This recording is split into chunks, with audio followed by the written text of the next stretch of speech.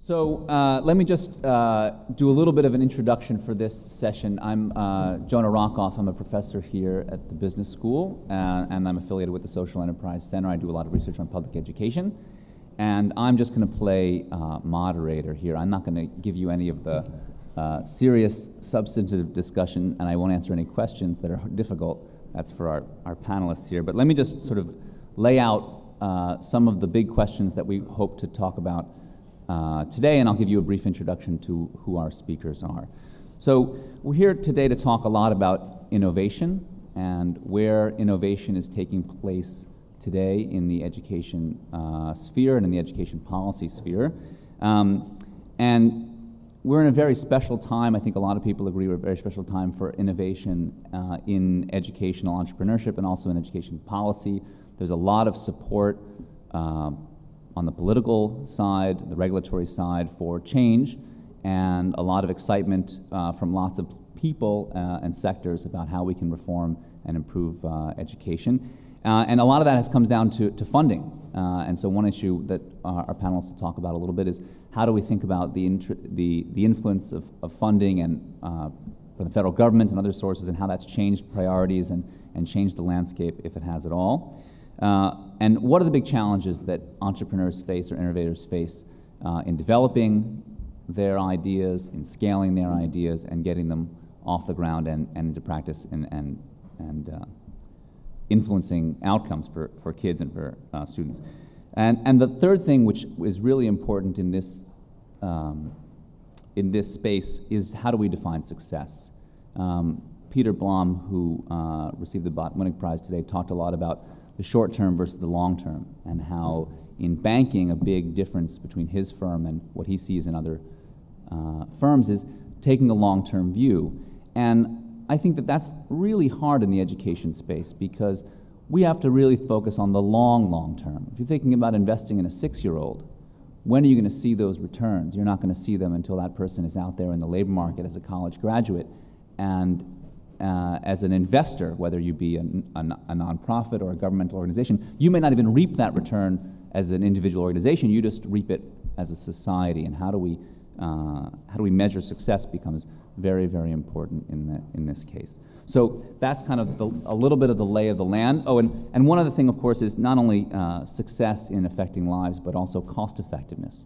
Right? We'd love to everyone to have improved outcomes, but we also worry about costs and how do we think about not just what are the best policies, but how much do they cost us and what's the return on our investment.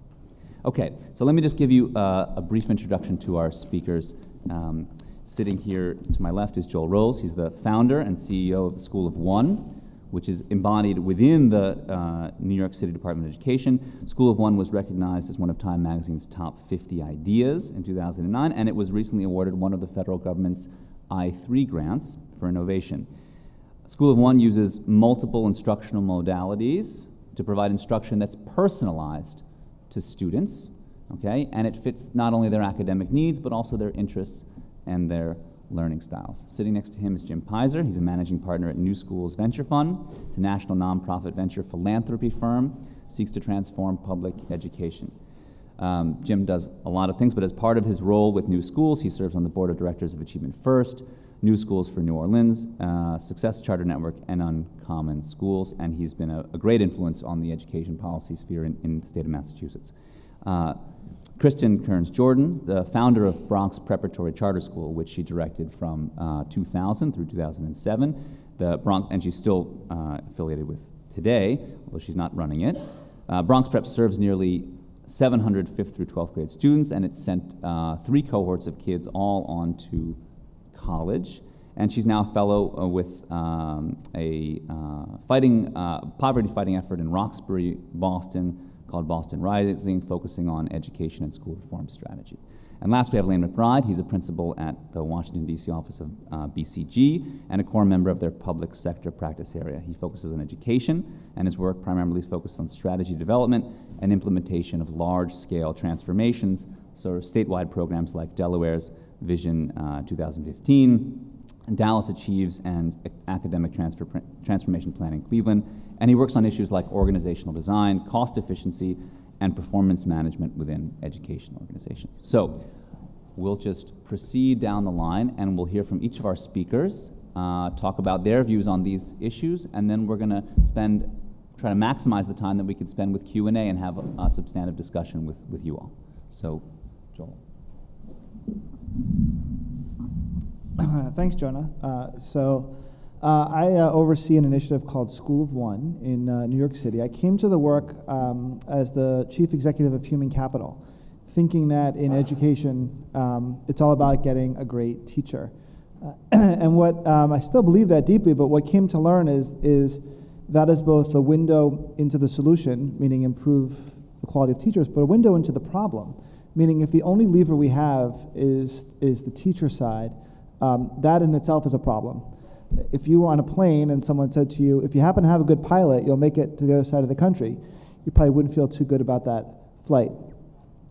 Uh, so School of One um, is, uses a number of what we call instructional modalities.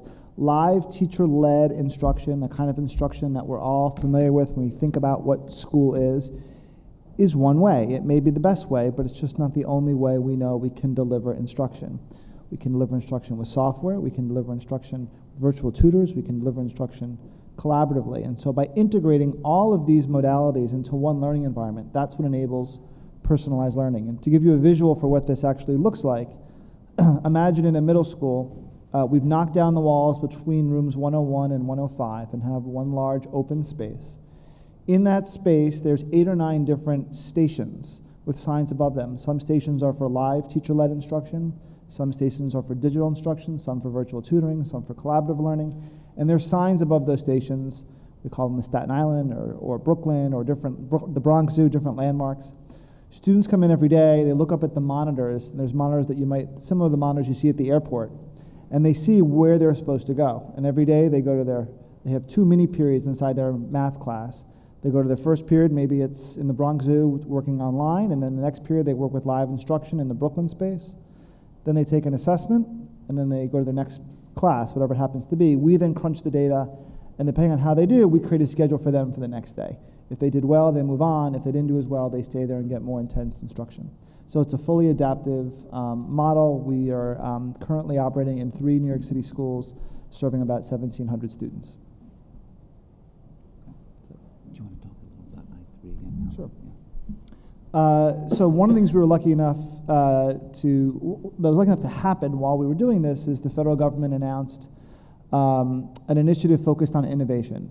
We're, we're trying to catalyze innovation in education because uh, it it's not happening, and the reason it hasn't happened in education is because um, those that are the most natural innovators, which would be the publishers, um, don't want to cannibalize their existing publishing business. So they're not so quick to invest in digital technologies that may undermine their, their existing businesses. School districts typically don't want to pay for it. Most of the money on the school district's budgets goes towards paying for teachers. We don't think to invest uh, in R&D.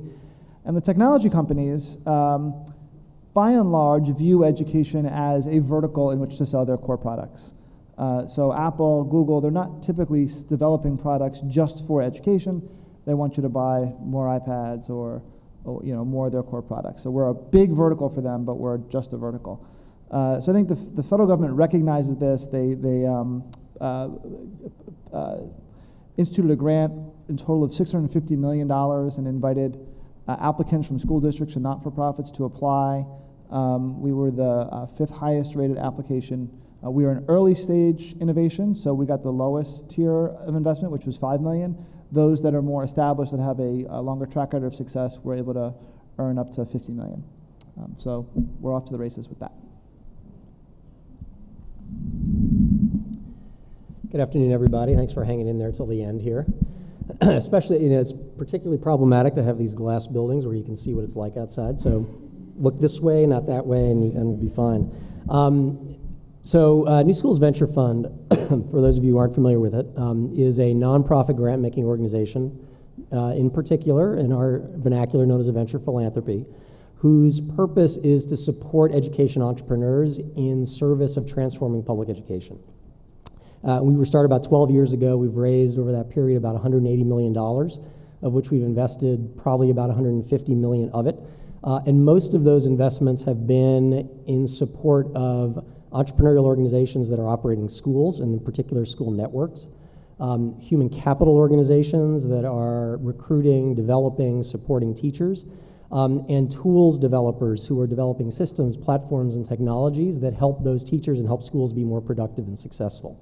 So those are the sort of the three areas where we're concentrating our investment. Let me just um, tell you a little bit about one of them uh, to give you some sense for um, the, um, the impact of our investments. And I really should say it's the impact of the entrepreneurs who we support as opposed to our investments. Um, as, but to talk about that one sector, sector as a lead into a uh, somewhat broader conversation about how we think about um, measuring our own success as an investor and measuring the success of our portfolio. So the, the one part of this I want to talk about are charter management organizations. So I'm sure all of you are familiar with charter schools.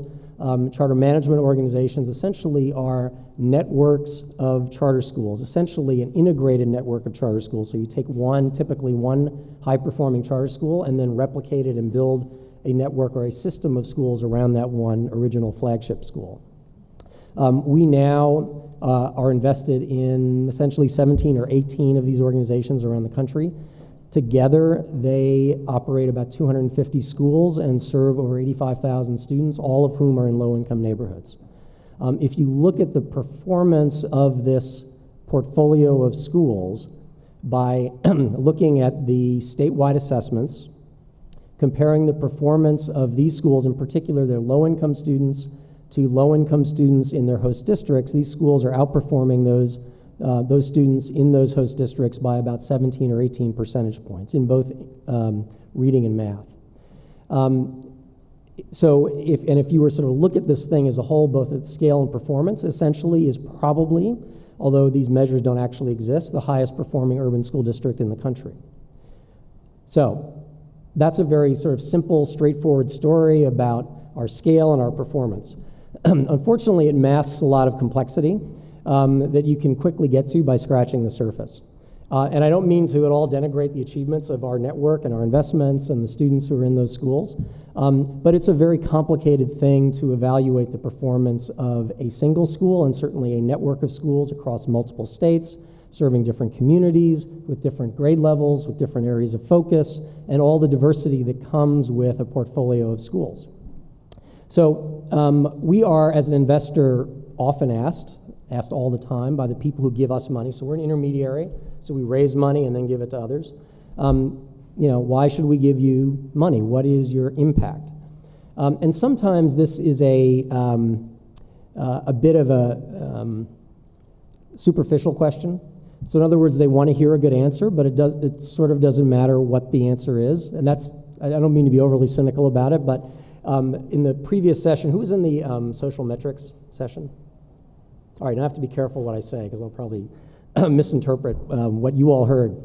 But um, there was this dichotomy between storytelling and problem solving, and that the use of data was intended to you know, identify who the problem solvers were, in part as a counterbalance to the good storytellers who may actually not be good problem solvers. Um, and, and, I think in some ways, um, New Schools and the ventures we support are in the business about telling stories of problem solving. Um, and data is a way of telling those stories. Um, but we, we have to recognize the limitations of those, uh, of those data. Um, and that for a variety of reasons, and we can spend a lot of time on it, but you know, in the context of school measurement, there's the quality of assessment, there's comparability across states who are using different assessments, there's normalization for different populations that are being served, there are timeliness issues, there's limited scope of the assessments, they only test certain subjects, certain grade levels. Um, the schools themselves, when you try to roll data up, there's, you know, it's some are K4, some are K5, some are K6, some are 6.8, some are 5.8. I mean, the complexity goes on and on.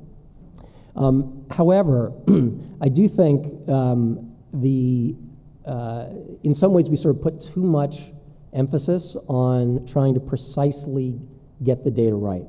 Um, I think in some ways this is both easier and harder than it looks. It's harder for all the reasons I just talked about.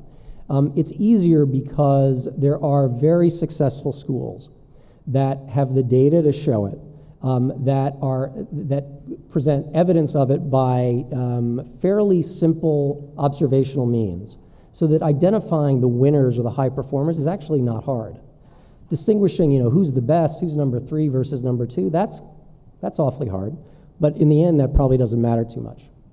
Um, the other thing about our work, before I close here, is that we don't just invest in schools. So when we look at our portfolio, the data that I just um, gave to you was about one aspect of our portfolio.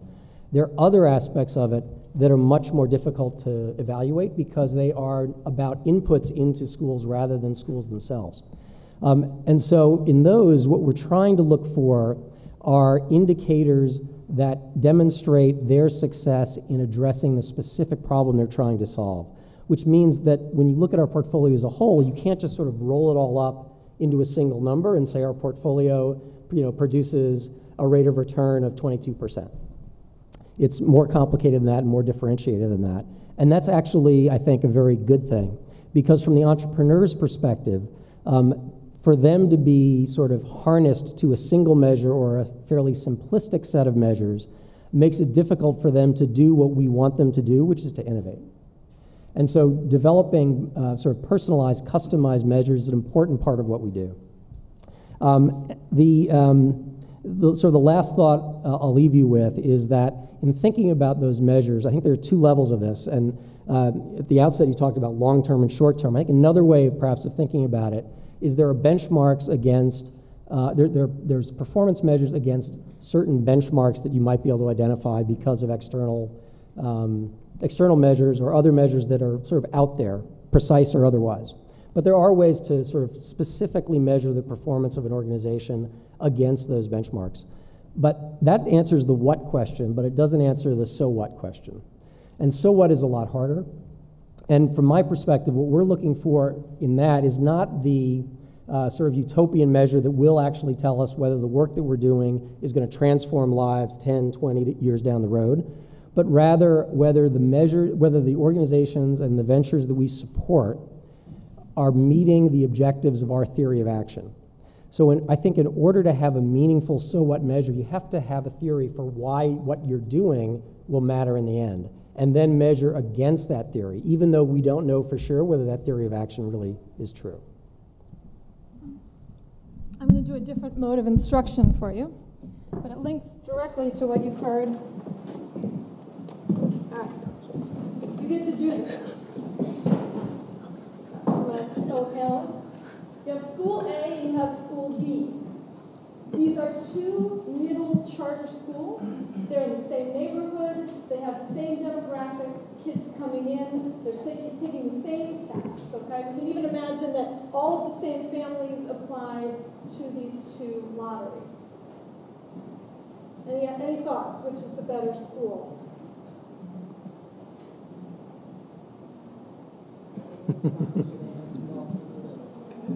Yeah, I'm not trying to be tricky. The data, it is, it is a like legitimate a sort of, um, it's a, it's a legitimate metric of school test score performance. But then, yeah, it, you can sort of generally assume that they have comparable, you know, that the test scores really do show school A to have stronger performance than school B. Well, no one's done that. No? All right. Now I can go to the second measure. This is their four-year retention, okay? Of the kids who came in fifth grade, how many of them are still there in the eighth grade, at the end of the eighth grade? Yeah, you've got, I hope so, uh, yeah. um, you've got, thank you. You've got on the one side, school A with 80% proficiency on the test scores, 50% making it through. On the other side, school B, you've got 60% proficiency on the test scores, 70% making it through.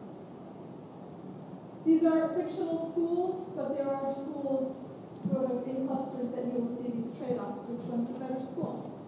Well, when was the test taken? At the eighth grade. At the eighth grade. This is their eighth grade performance. Okay, that's good. And that's the retention. So you keep you keep them for four years, middle school, fifth through eighth grade. That's the outcome at the end in terms of how many kids get to a proficiency level. And this is the retention.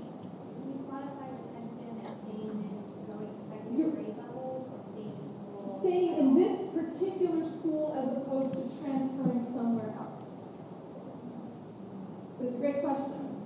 We don't know where else is, but a lot of people, foundations, government actors, just kind of look at fair statistics. And I'm going to give you a third one.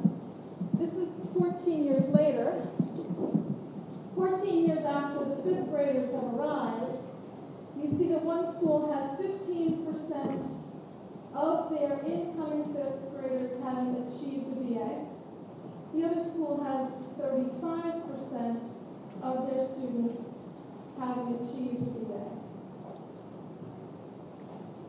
How do you pull all these things together? People don't really even track this for individual middle schools. Um, but I would argue that this is the rate, the ROI. If you had to figure out what do we want our schools to do, I think it's this. I think we want BAs. And the national statistic is 28% of Americans between 26 and 8 years old have a BA. If you are in the bottom quartile income-wise, and neither parent went to college, you've got a 9% shot at that. And there's not that much data correlating your test scores there with this, although one thinks that maybe that's predictive. There isn't a lot of data. We've become a lot more focused on this lately. I love accountability. I love high test scores. As a school operator, I worked very hard to get kids to high test scores. But as you're trying to figure out the impact of our reforms on schools, it's a deeply complicated measure. Okay, so they leave. Do they leave to go to the prep for prep program and do fantastic things?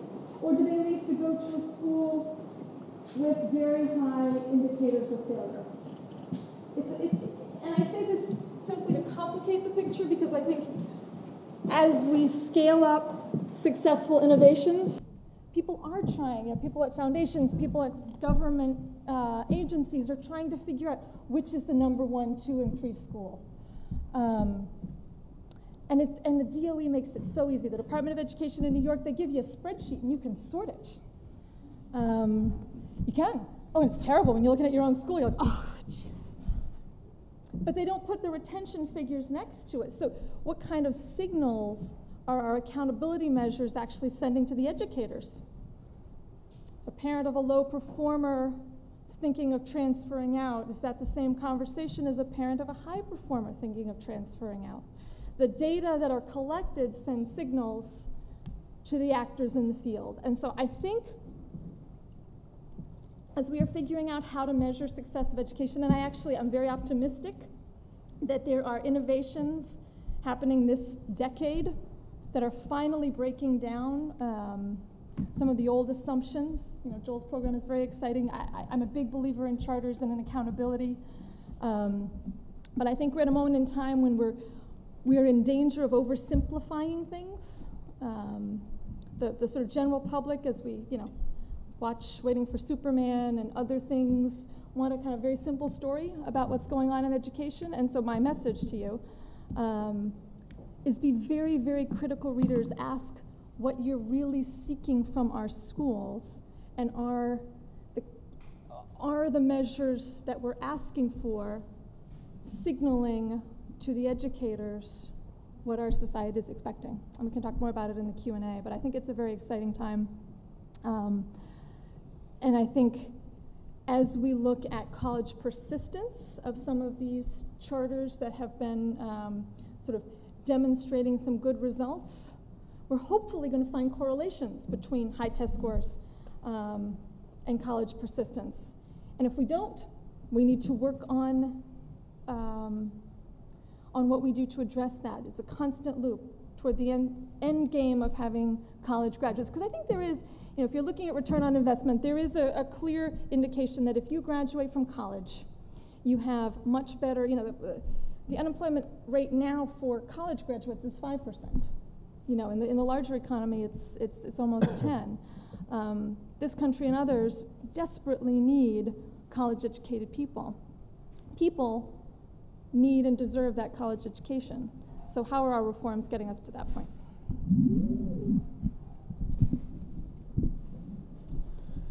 So I didn't bring any poster boards.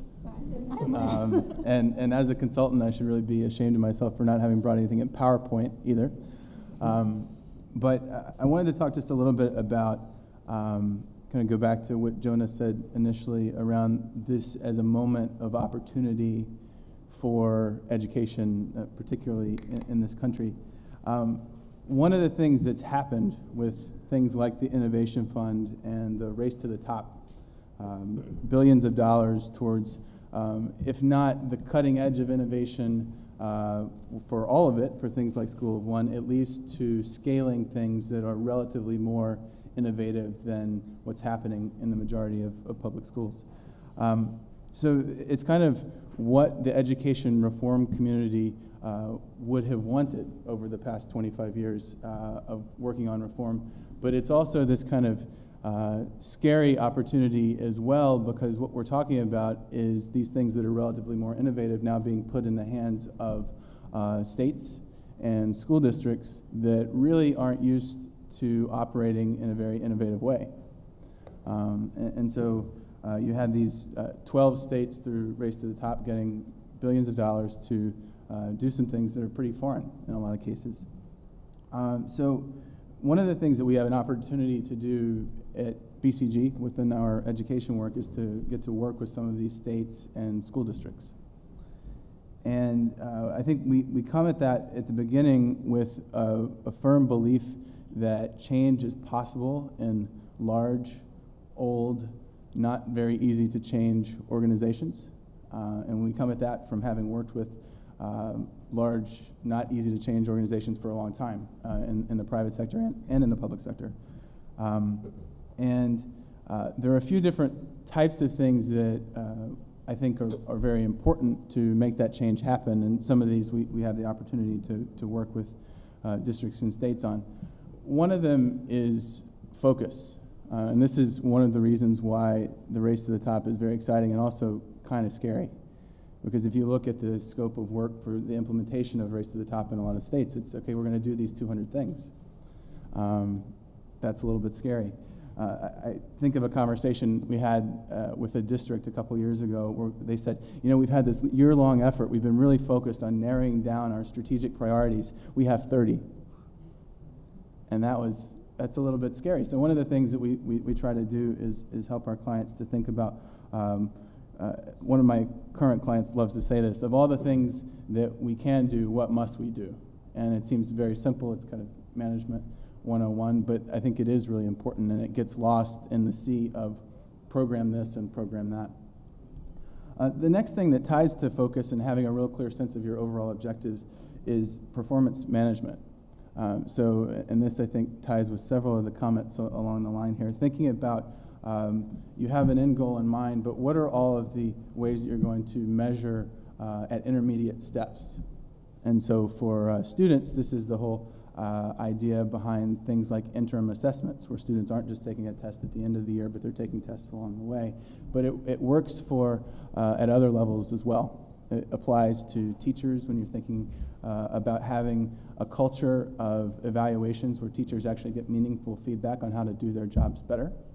Um, and it applies to systems. Um, so if you think uh, systemically, and this gets over into the, the measurement point a little bit, um, I think in, often in school districts there's a big uh, disconnect where there's the tests that measure outcomes, and either there's no measurement of the things that lead up to that, or there's measurement pretty far apart. So, for example, uh, I am familiar with a district that's invested, and others have too, a, a lot in tracking attendance at professional development events.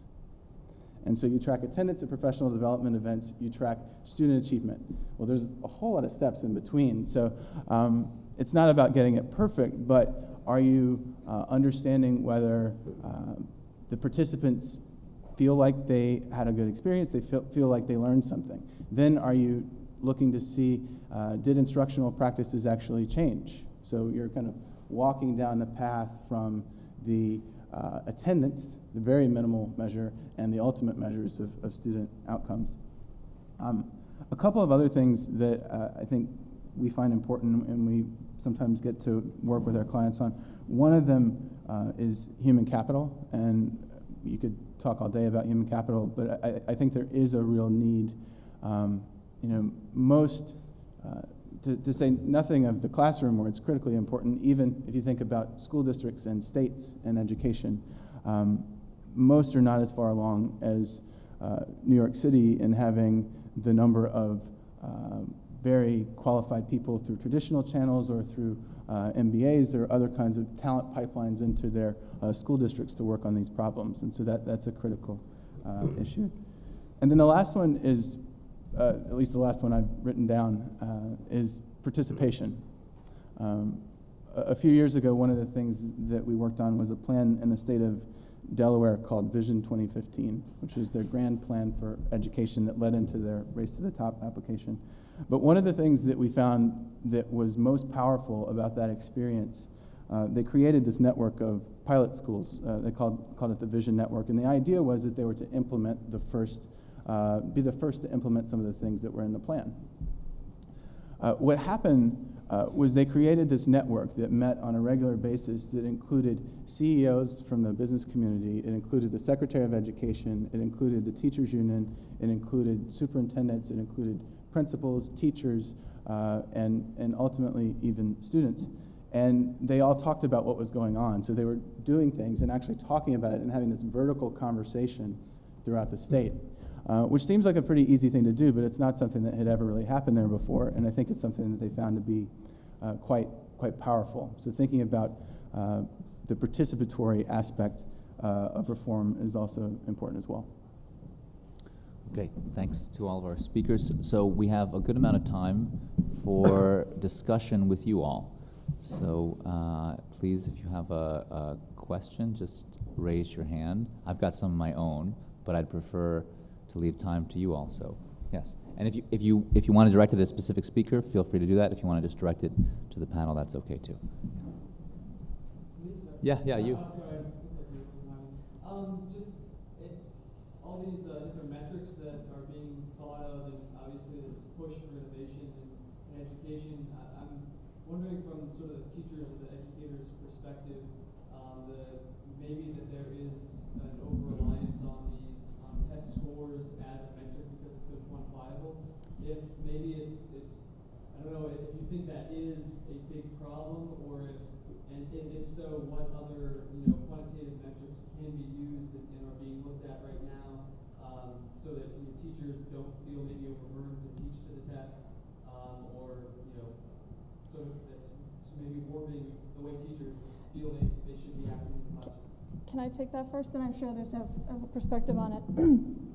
the, um, the, the work, that which children demonstrate on the test, I think has, you know, in sort of education circles been seen to be of pretty good validity. You know, the, the, the tests are getting better and better.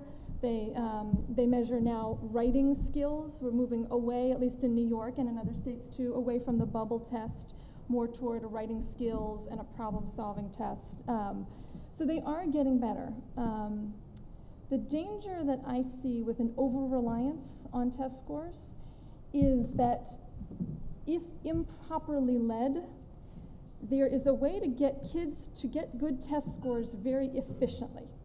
Um, and it involves breaking it down, and here are the steps A, B, C, D, E. Here's what you do. Boom, boom, boom, boom, boom. Kids can become very reliant on adults to tell them exactly what they need to do to get to the answers of the questions. Um, at its worst, it can create a learned dependency on the adult figure um, that could counter um, encouragement of independent thinking, persistent self reliance. Um, I'm going to give you a, a, kind of gross example that's coming to mind. Um, my son's oral hygiene. So he is eight years old and not so good on the oral hygiene. So I have always been on him. You know, brush the front, brush the back, brush the tops, you know, get in there and floss myself He has perfect dental checkups, all is well. My husband and I, about six months ago, looked at each other and, know, if he went to summer camp, he would never unpack the toothbrush. Without me there, so we decided, you know what, we're going to take a step back. And we're going to allow for a little bit more plaque to develop on the teeth because the kid needs to learn to be responsible for his own oral hygiene. And, and he is. Um, he asked me to get some of that act rinse stuff because he thinks it will freshen his mouth. I mean, you haven't met my son, but this is really a big development to ask for the act rinse stuff. But what it gets to is ownership, and and if if it is not at the same time encouraged for kids to really take ownership of their education, this danger lurks. Um, I don't think tests are bad. I don't want to be misinterpreted, but I do think the over reliance on the one indicator can, in any indicator, frankly, you know, if we decide all we care about is retention, we'll just pat them on the heads until they graduate and they won't, you know, you, you, you, you, sort of have to balance these different indicators. But there's not a terribly good um, indicator of, there's a lot of words, and we talked about it before coming up here grit, persistence, you know, it, these, people measure them through personality tests. It's not a terribly um, appealing way to measure a school's success to give you know, personality tests to all of the graduates. Um, but you, you, know, any one factor to the exclusion of the other, others presents a danger, in my view. Uh, so just, just to sort of add to that, um, but from a slightly different perspective. As a system, um, there is, of course, a risk in going too far the other direction, the direction that Kristin's talking about. So I, I visited a classroom of a teacher that, statistically speaking, based on all of Jonah's metrics, is one of the worst teachers in New York City. She's in the fourth percentile.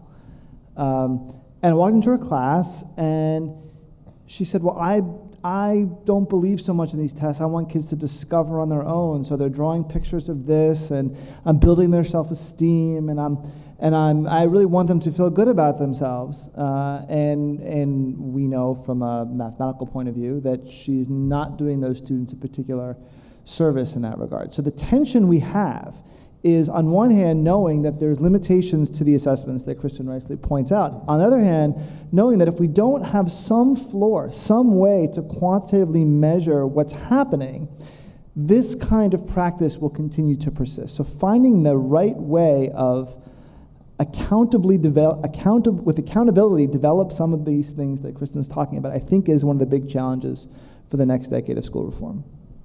I just throw one more thing in there, not to um, beat a dead horse, but um, one of the benefits of these assessments, these summative end of year assessments that states do and are required to do, um, is that they have um, really strengthened and maybe even created an assessment culture in education which um, some people recoil from, um, but others have embraced in a, in a, very productive way through either uh, sort of periodic interim assessments, as Kristin was mentioning before, or the kinds of assessments that go on in School of One, which are formative and daily, if not constant.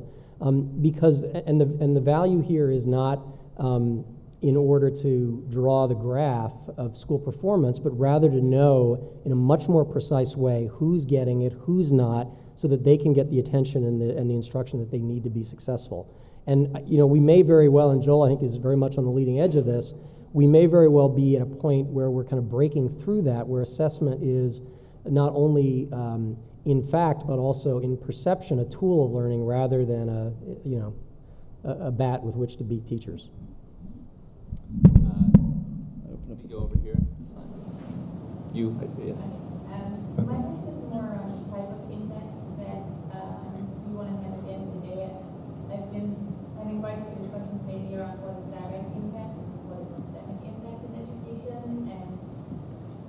argument that I've been hearing quite a bit is you're not going to get a systemic impact. And so direct impact would be just basically impact on and the fisheries and a systemic impact is changing the ecosystem around it. Um, and so people, what the, the people that I've been speaking with about have been saying is you're not going to reach systemic impact by just fighting on and scaling direct impact. Um, which is curious, and I'm having to explain my question to where it's needed. I was curious what your perspective So I'll, I'll jump in. Um, I think that's ridiculous um, for two reasons. Um, one is that um, in certain, but New York City is a hard place to talk about this. Um, Newark, New Jersey might be an easier place, uh, or Boston, Massachusetts, for that matter, where you can imagine quite easily scaling, you know, a group of entrepreneurs and school operators to full district size. Um, so I, I, mentioned the new schools portfolio is already 50% larger than Boston or Newark or Washington, D.C. the city of New Orleans um, has a charter sector that is currently enrolling more than 60% of the students. Within four or five years, it'll be over 80% of the students. So New York, Los Angeles, Chicago, yeah, that's, that may be um, sui generis. Um, in most other cases, um, through scaling, you can actually you know, capture market share, if you will, and change the system that way. The other thing, though, which I think is equally important, and what we've seen very much in New York, is that with transformative leadership at the top that embraces entrepreneurs and these, uh, and these, you know, these other sort of non-traditional school operators and providers, um, you can not only sort of bring them to larger scale and have a direct impact, but you can leverage that to have to drive reform through the system in a way that you couldn't without that sort of outside influence.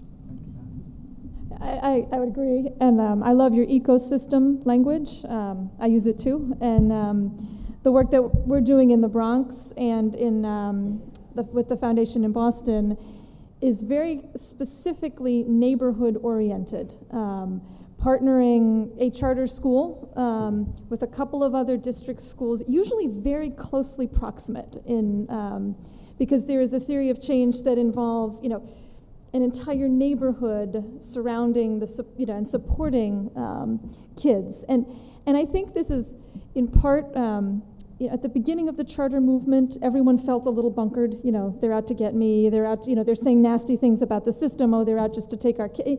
And that is breaking down um, as sort of more and more forums are created where district teachers and charter teachers come together, or leaders come together, and we see ourselves as kind of a crazy quilt, as opposed to. Um, you know, two different sectors.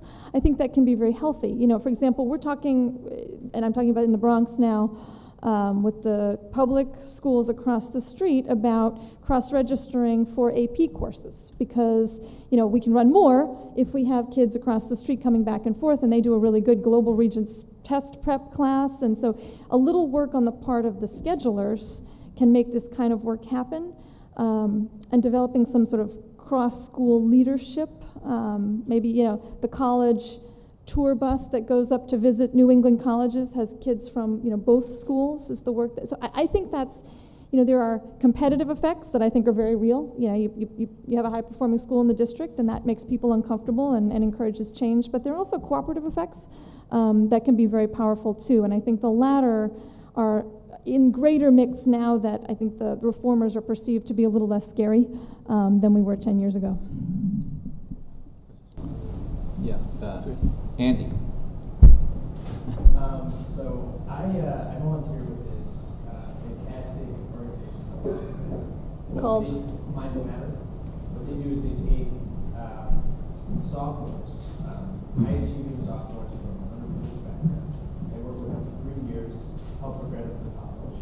Um, and the, sort of the, the whole reason for being in this organization is that the statistics show that kids from this kind of background have no problem getting into college colleges want these kinds of kids. they have got diversity, they get great test scores, a lot of them even do well in SATs, but the studies show that overwhelmingly these kids do not graduate from college. So my question for, for the panelists is, what should public mm-hmm. education actually be doing? What could they be doing better to actually take these kids that are already excelling, stay in school, and actually help them get their there? All right, I got thoughts. Um, there's a great book, um, which I referred to the panel. I'm, I'm, I'm spacing out on the authors. Um, it's called Crossing the Finish Line, and it's all about this question of college persistence um, and looking at what, what indicators do predict persistence and which ones potentially don't. Um, there are needs for support at sort of both levels at the high school level and even back the middle school level and at the college level. One of the things that colleges have done is create more intimate communities for students, um, for all students, so that kids are not sort of out lost in the big system. Um, First time college goers might need more information or support um, just by virtue of their being the first in the family, or first in family college goers, I mean to say, just by virtue of their being the first um, there. Very simple, good research on whether uh, financial aid is sustained over time. Um, a lot of financial aid is sort of uh, targeted to the first year because those statistics are published. Um, another way in which the way you're measured kind of drives behavior of organizations. Um, but I, I would argue that also at the high school level, opportunities for kids to have um, long, engaging projects that require them to overcome obstacles. You know, instead of 10 simple um, assignments, one more complex assignments that might involve collab- one more complex assignment that might involve collaboration with other players um, would better prepare kids. I mean, frankly, the one thing that high schools I think should be doing um, is talking to their recent alums. What prepared you? What assignments prepared you? What, you know, what was useless? Talk to us. You know, give us the, the very, you know, recent feedback. Um, high schools go after their alums for money. They don't go after their alums for information. Um, and they are a real font of, um, of information for their high schools. Well, I just quickly on that point, it's a little self-serving maybe, but there's an organization that we're uh, helping to incubate called Beyond 12, which is building a platform for doing exactly that. Um, because it is, it is one of the you know missing pieces in the data feedback loop. Is you know when I got to college, was I well prepared? If not, why? And what were my what were the things that could have been addressed in high school? The only other thing I'll say though, to your comment, which, which the question was about what can districts do. Um, I think the first thing they ought to do is invest in organizations like that or Posse or others that are actually doing the work successfully now, as opposed to saying, oh, okay, let's bring that in house and let's try to do it ourselves. Not that they shouldn't do it, um, but execution is 90% of success. And if someone is executing it well, you ought to make you ought to invest in them to do more rather than to sort of start fresh and risk the execution being weak. Okay. Uh, you, the taller man, right there. Yes.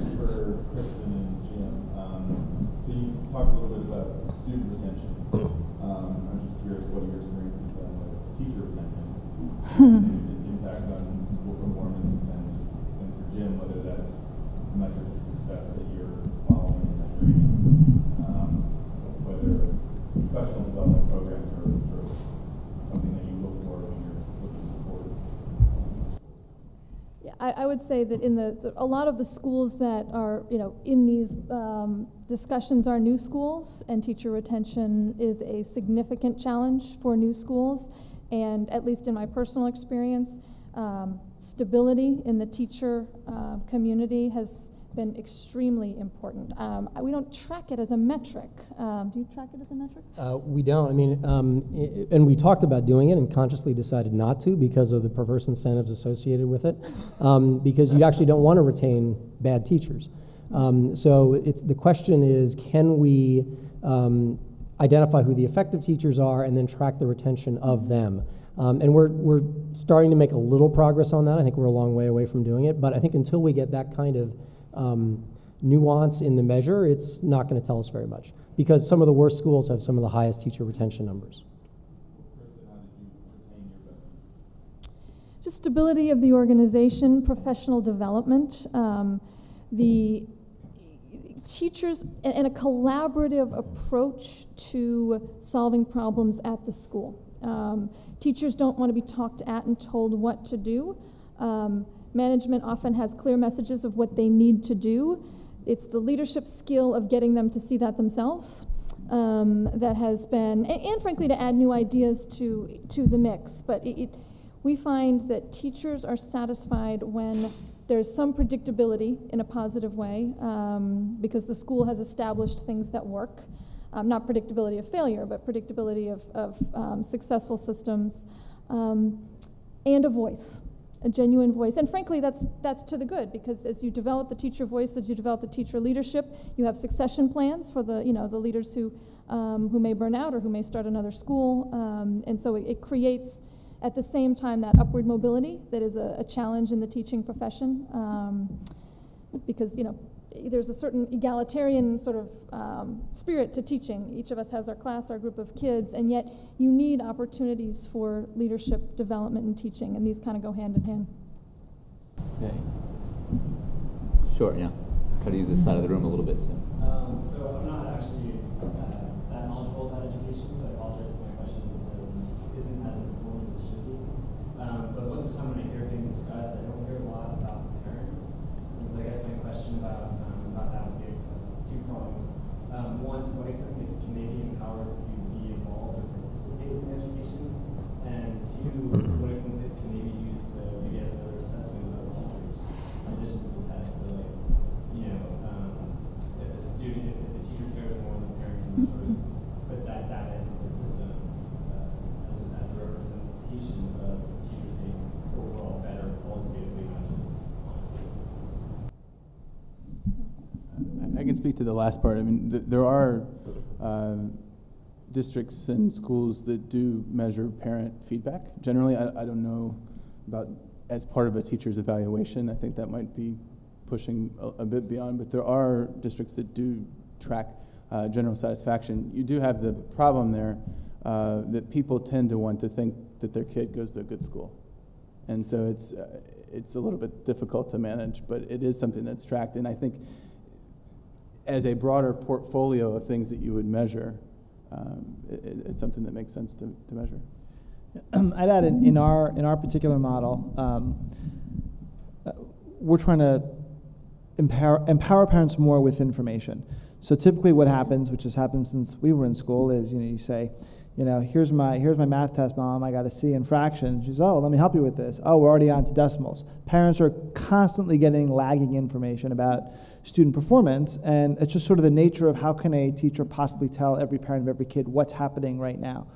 Um, in our model, because of the, the way that the, the, the, technology works, parents will have a window into what is my child learning tomorrow? How did he do on the assessment at the end of the day? What content did he have? So now I can think about why is it every time he goes to Mr. Jones, he's not passing the assessment? And then lastly, is there content that I can access as a parent that is completely aligned to what my child is studying that I can work on together with my child in advance? And I think we haven't rolled all that out yet, but as we roll that out, I think it will give parents interesting window into what's happening in classrooms that now they just don't have, both physically but also metaphorically, because of, of the sort of challenges of getting information in that way. Uh, go to the, all the way to the back with the glasses, yeah. Uh, if you listen to the AFT, charter schools have no performance. Uh, if you look at the Hoxby report, there's positive impact for charter schools. Mindful of all the data and research out there, what is your opinion of the, the true situation? Uh, so the truth is, it's a mixed bag. and uh, I could, you know, if there was a whiteboard here or something, I could draw for you a curve of um, public school performance, um, you know, bell curve distribution. And uh, unfortunately, what you see in the charter sector is the same curve. And maybe it's a little bit to the right, or maybe it's a little bit to the left, or maybe it's right on top. I, I don't know, and at some, at some level, I don't care. Um, because although it would be nice to think that you could start an entire sector and have all the schools be great, that's not going to be the case. The, the question, there, there's sort of two questions, I think, or two um, factors here. One is that the charter sector is creating new high performing schools that would not have existed otherwise. So we're adding to the stock of high performing schools. Um, so that's like full stop. Um, the second is more of a policy question, um, which is that in, especially in, in this, or I should say specifically in the charter sector, the people who authorize charter schools, so they're the ones, they're like the, you know, the school committee for charter schools, um, are not doing nearly enough on the front end to evaluate the quality of the people who are coming forward proposing new schools, nor are they being nearly strong enough on the back to hold them accountable for results because the, the theory and in some, in some places the practice of charter schools is that low performing schools close. And if you actually were able to do that, if authorizers had the capacity and insight and courage to do that, um, you would see that curve, that bell curve, gradually moving further and further to the right. Um, we aren't there yet, but I think it's an authorizer. It's an authorizer and policy issue. Um, but by the same token, again, I think the number of high-performing schools in the charter sector is growing at a much faster rate than in the in the district sector. Yes, you. Uh, yes. Mm-hmm.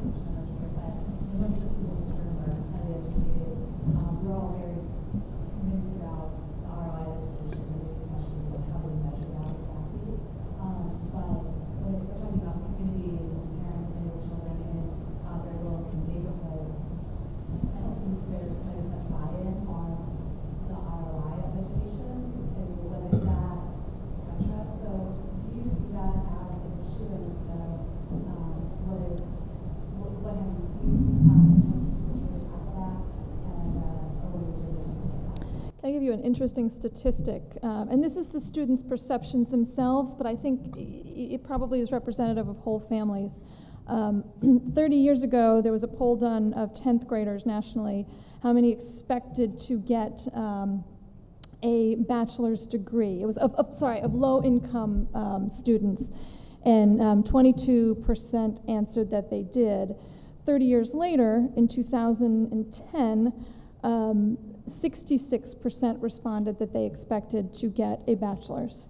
So there has been, and, and I think that, that I see that trend with parents just anecdotally.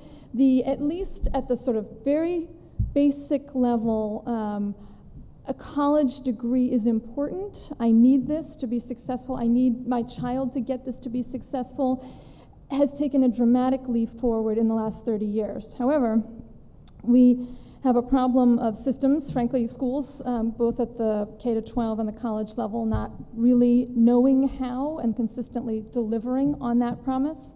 Um, and I also think there is the, um, when financial aid runs dry or when there is a major problem, um, it- kids do need support to get through that. And to go back to my, my last answer, um, th- there, there is a need for encouragement um, and access to mentorship, I think is, is a big um, one of the ways that this can be addressed. And so while there's, well, there's a stated belief in education, helping families to navigate, because frankly, going to college is a lot harder when you're poor.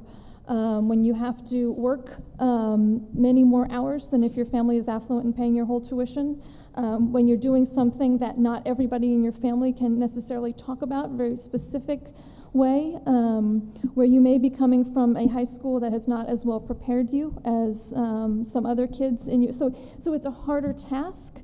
Um, and so th- th- we all collectively need to develop greater support systems for people to make it work.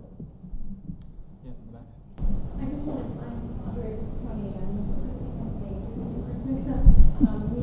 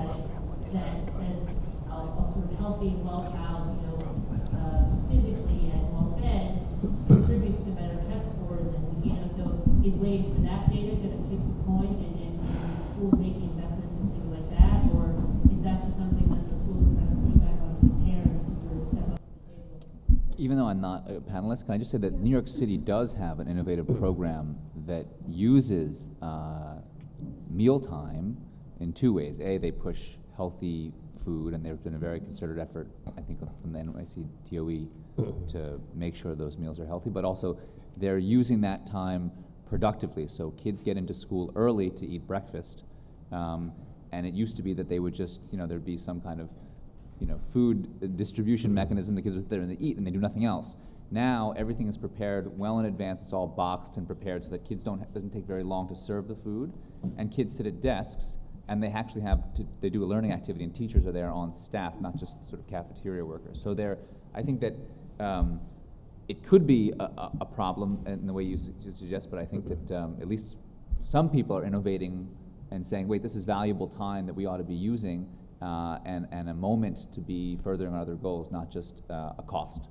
One other quick self-serving comment. We're um, a, uh, an investor in, an, in, a company called Revolution Foods, um, which is uh, providing healthy meals um, uh, using you know local produce and local um, and local um, local products generally, and um, delivering them every day to schools. Uh, they're mostly, at least originally, in Northern California. They're now getting in Chicago and other places. Um, it's a for-profit company. Um, they're growing by leaps and bounds. They started out in the charter sector. They're now breaking into the district sector.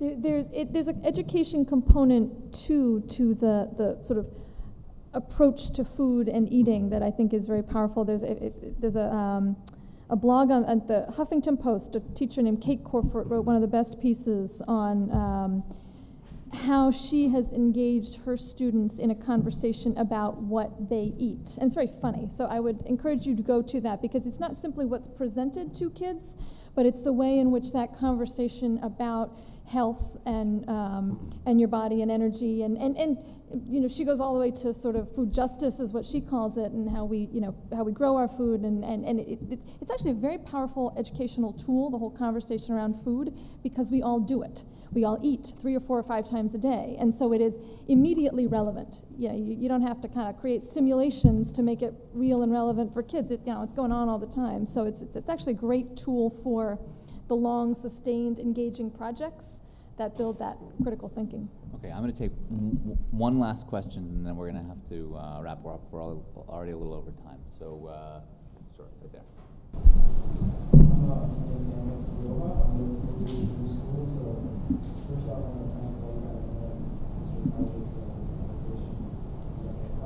question that is in regards to professionalism of the teaching profession in general. Um, there's obviously a lot of successful programs in America, the University uh, Fellows Program. Well, I think uh, they have the best of intentions and they're, uh, they've had a lot of success. Uh, I think one of the intended consequences is that it sends the message that everyone can be a teacher, uh, which is the summer crash course. And um, not that for that, so I guess, I guess my question to you guys is, um, what strategies uh, you have or think should be developed to kind of restore teaching and uh, teachers as professionals, and not so much um, just churning out a product of students who score high tests. Um, so a cou- couple of answers. One on, on, on the sort of question of can you can you be an effective teacher with a summer crash course? There's actually a great study done by the man sitting next to me on this exact question in New York City, uh, uh, and did find, if I'm not mistaken, um, that those that were alternatively certified performed as well as other first-year teachers, and in some cases even somewhat somewhat better. So um, that at least is one study that, that did I get that pretty much right? um, but that said, I think there's a larger issue that, that you bring up, which, which, which is the professionalization of, of teaching. Um, this is an incredibly difficult job. Nearly half of all teachers we hire in this country are gone five years later. The latest survey uh, that was conducted by EdWeek found that 40% of teachers today consider themselves disheartened.